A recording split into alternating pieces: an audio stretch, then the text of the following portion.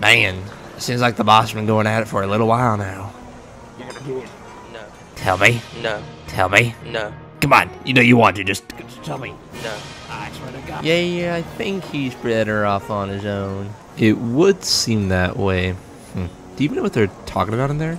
Well, I don't really have a clue for right now, but I did hear that when Robert was there, we made some serious headway. That's it. Wait. Robert, no, get no, in no. here. What are you doing? Oh, jeez. Oh, my... Uh, okay, I'm glad I'm not in there. Yep, and it's because of that we have some new friends to go visit.